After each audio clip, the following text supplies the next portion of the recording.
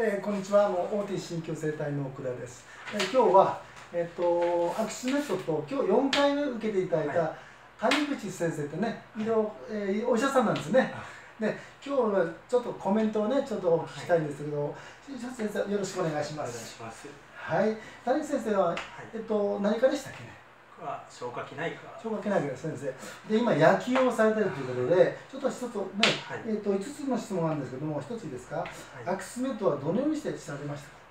そうですね、僕はこれは医療と全く関係なく、うん、野球の草野球の動画を見てやろうと、うん、動画 YouTube で、はい、YouTube の動画を見て、見られて。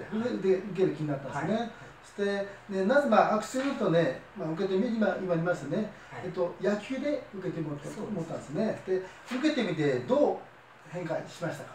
そうですね。まあ、うん、やっぱり最初はちょっとどうか不安であったんですけども、うん。うん、まあやってみたら、うん、確かにあの飛距離も伸びてきたような気もしますし体もよく動くような気はします。か、ありがとうございます本当はもうちょっとね今ちょっと怪物とか言われてるん。ですよそうですね。まあ実際にはちょっと、僕の中で飛距離も伸びてきて、成績も良くなってきたっていうのはあります、打順も上がってきたし。ちょっと上がってきた。ね。で皆さんこれも知らないよね。そうですね。ね秘密ですよね。あんまり言わないです。言わないですね。皆さんなんかウエイトしてると思ってるでしょ？そうですね。筋トレとか。ね。わかりました。実はねえっ、ー、とまあ医療関係のね先生ということでちょっとお聞きしたいんですけどエビデンスがこれ確立していませんよね、はい、それについてまあまあ先生としての立場からねなんかコメントがあったらありますか、そうですね、うん、まあ、うん、確かにちょっと、うん。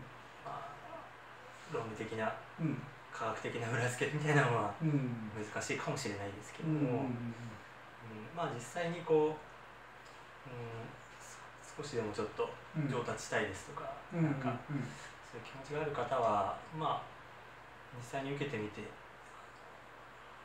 まあ、成績が良くなったりとか、あのパフォーマンス向上したっていう例もあると思うので、うん、まあやってみることに関しては別にあのそんなに支障はないというか、うん、まあ、うん、うん騙されたと思って。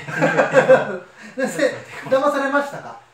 まあ僕は効果があるかなと思って、そうですね、まあ、4回も受けていて、だんだんねこうなんていうか最初よりもどんどんどんどんこうなんかパワーアップっていうかね安定もされてきてても全部見れて、まあ、動画もね撮らせてもらってるんですけど本当にねよくやっぱね受けに来ていただいてね本当に僕は嬉しいと思嬉しいですね。本当にありがとうございます。もうすみませんどうもね。わざわざ今日はコメントいただきました。あの山口先生です。どうもありがとうございました。